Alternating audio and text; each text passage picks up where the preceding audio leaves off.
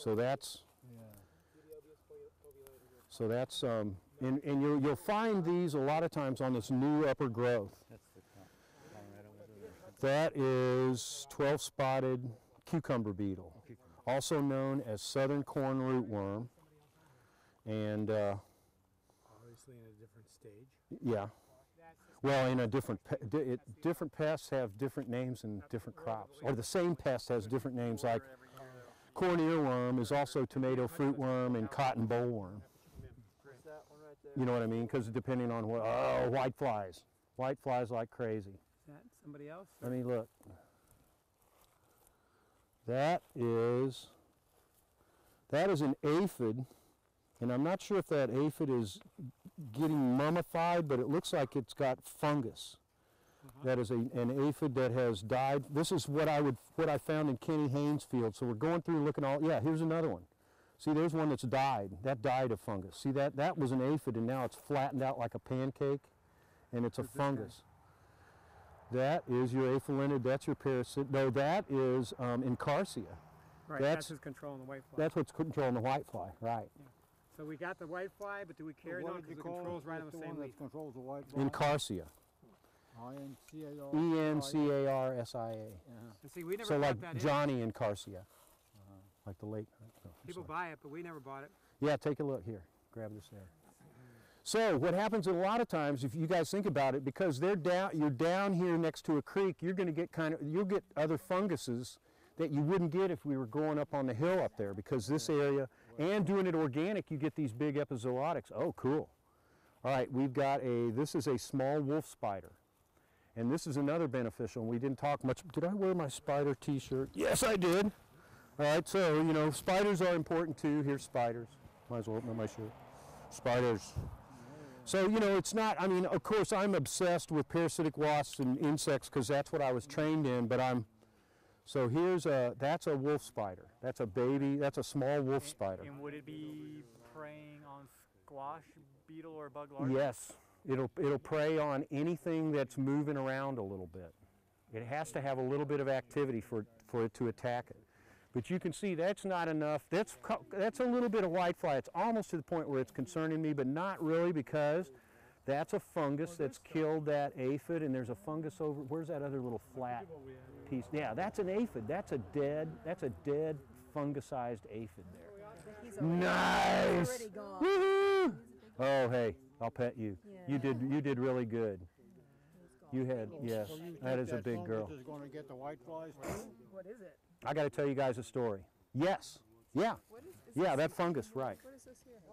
That's the, that's the parasitic wasp that attacks the whitefly nymphs. You know, whitefly nymphs look like a little trilobite. They look like a little scale. Oh, Those parasitic wasps come up and they tap them like a watermelon.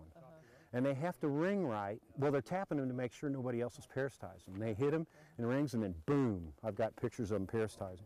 I got to tell you guys a story about this. One day I'm out scouting, and these two bugs are coming to each other, and one of them is a a predaceous stink bug, and the other is this exact. This is um, one of the big nabids. I think this is Nabis americoferus, but I'm not sure. I, I don't remember right now. So these guys come up to each other, and I'm like, this guy is going to walk through that stink bug, and they start circling each other, and suddenly that stink bug sets out its proboscis into the neck of this beetle, and they sit there for about 10 or 15 seconds, and suddenly you see this, this big beetle go. And the stink bug kills and eats this big. I didn't think, I thought this thing was invincible. That is a ground beetle. That's one of your better, this is your, this is your nighttime caterpillar manager. Well, and the stink bugs are predators? Well, the stink bug I'm talking about was a predaceous stink bug.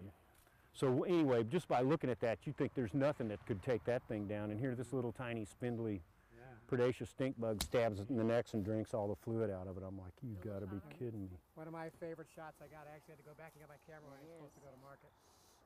Squishing a few. Very good predator. This All of a is sudden I noticed mainly a predator of caterpillars at night. So you have to be out here at night to see these. Go on ahead. spine soldier bug had Oops, I guess I should tail turn it down. made like that. Now, I took that picture and went to market and left tons of potato beetle larvae on that plant. By the time I got back, it cleaned up all the potato beetle larvae too. But it's really not fussy. It doesn't care if it's beneficial or not. You know, it's just going to take out every soft body insect around. Right. Um, but why do we have it? Because we, ha- we allow the potato beetle larva populations to stay there, and then in come all the predatory bugs. They love those high populations of larvae. Squash bug. This gets attacked. Now I tell you, when I see squash bug, I nuke it with soap. I have a little soap container thing that I keep next to my um, some of my uh, my cucumbers, and I nuke them. But certain ones of these, this one doesn't have it, have big white eggs on them, and those you might not want to kill because they are uh, that's a tachinid fly called uh, Trichopoda pennipes. Okay.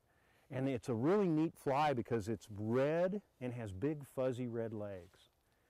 So I mean, they're they're um, when you see them, you'll know what you'll know what they look like. Now, so w- once again, this is one of those. This is a mandatory squish item for me See, when I'm out. we get pretty darn good control without even Yeah, what are you controlling those with? Well, we control it by controlling the um, vine borer. We spray twice a week, all summer long, What are you spraying? soap and BT Oh, okay. So we, you Just know- at the base. at the base. At the base. That's okay. there are all these other methods, but that's the most cost-effective method for us for controlling vine borer. Wow. And serendipitously, the soap takes out at least the at least the nymphs. I don't know if it gets the adults all the time, but it sure nails the nymphs. You know, and if you nail the nymphs all the time, we have low levels of the bugs, but not enough that they're a problem. Right. And it's not even like we're trying to control those. We're just spraying regularly to control the vine Same borer. beetle, yeah. Yeah, it's still that guy's barely alive. It's just having the memories of the last caterpillar it ate before it started to kick off. Find. Oh, nice. Okay. This is okay. This is one of the reasons I grow fennel. This is going to turn out to be one of your butterflies. That is going to be a swallowtail. Right. And the, have you guys seen the, the horns that pop out of it, the little stinky orange horns? So if you go like this and you irritate it a little bit, watch these horns come out. There they are. And it has it has cyanide. Smell it. It's cyanide. That's cyanide. So it's smearing. You wouldn't want it. You don't want to touch. You don't want to mess with that thing when it gets that big. Yeah, you don't want to eat it. Yeah, right. It wants to let you know Right. it's, it's going to give Yeah, you look, see, it's like, hey, right, see, and it's trying, it's trying to hit me. Up. Right, it, you know, it's like, hey, if you're a parasitic wasp, I'm going to kick your butt. I'm going to, I'm to wipe you with cyanide, and the next thing you're not going to, you're not to be interested in attacking me. You're going to be figuring out how to get this That's burning sensation. hornworm? No, no, I found a hornworm in my tomatoes yesterday. they have cocoons sticking out of it. That's Cotesia, that's Cotesia congregata. That's another good beneficial. You want to keep those hornworms around. even though they do. Those are the pupae of the wasp. Like.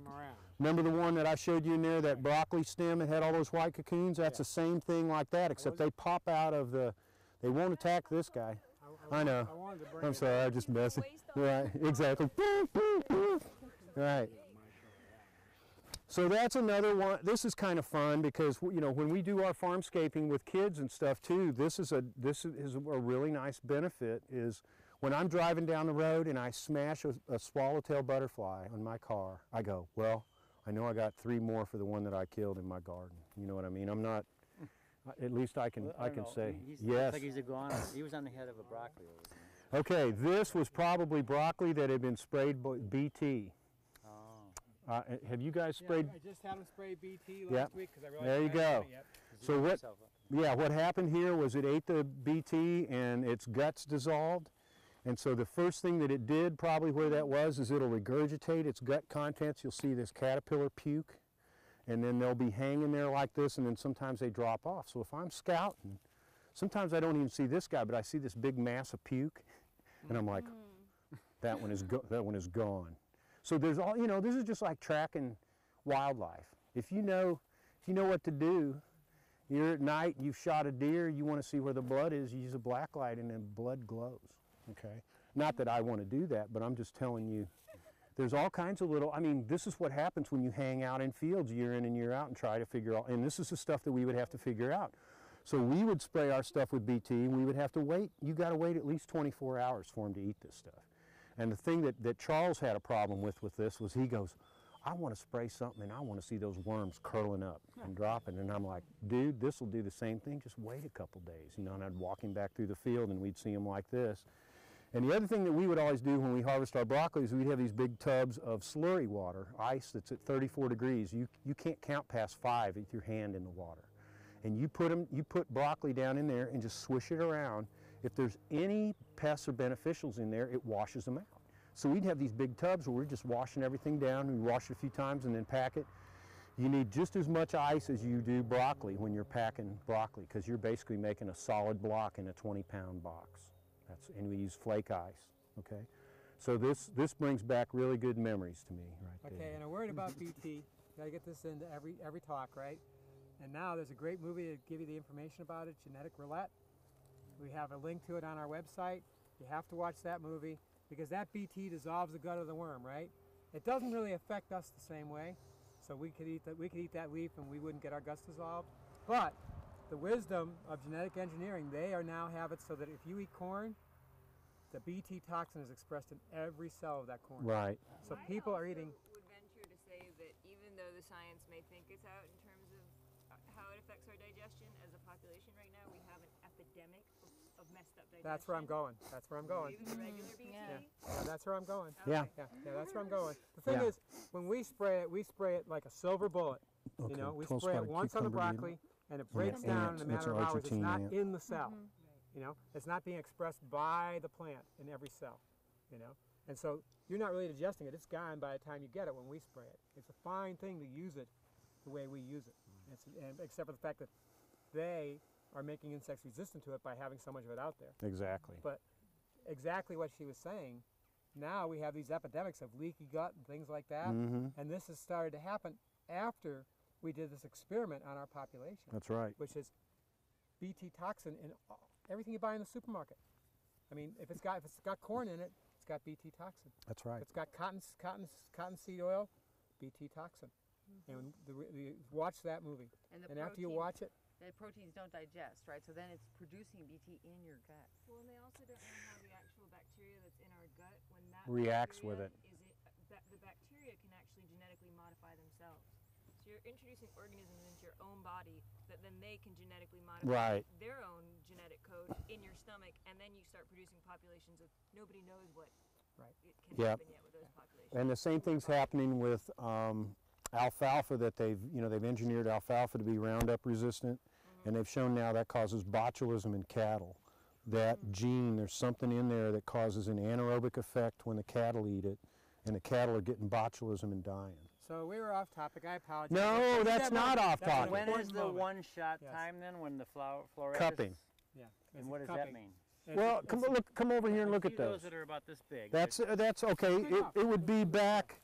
It, right now, even it would be actually a little earlier. You want it when it's a button. We are right. little behind this here. but we'll- Alright. we'll get Okay. just like you a button, like a side. know? Hit this just right. If you if you spray now with BT, let's just say that you had a pest pressure that would justify. You know, you're going going for market like some of us are, where your standards have to be a little higher. If you hit this now with BT with the cool weather, I'll guarantee you it doesn't matter if imported cabbage worm butterfly comes in here and lays an egg, it ain't going to make it. And then the other thing that we would do is we'd the broccoli before it's mature. yeah, and the, and the worm will the worm might have gotten that big, and then the other thing, of course, is I'm going to rinse it in that tub. But we would always put everything in this tub and rinse everything through, and it's all uh, out of there. N- no, I haven't. But You can put them in with the squash plug if you want. yeah, yeah. Here's um. This is an imported cabbage worm, and it's actually parasitized. So I may cut it open, and you can see all these weird wasp larvae in there. He can tell that from I can 15 t- feet. I can. This I've is. seen him walk by 15 feet away and tell. He's reading a Torah. You know, I was I was the outcast in grade school and high school, and now I'm going to make everybody pay for it, man, because I was a geek, right? So what we do, I hate to do this, and we may get good. Wait, I got the knife. Yeah, do you want to see this? Perform the surgery.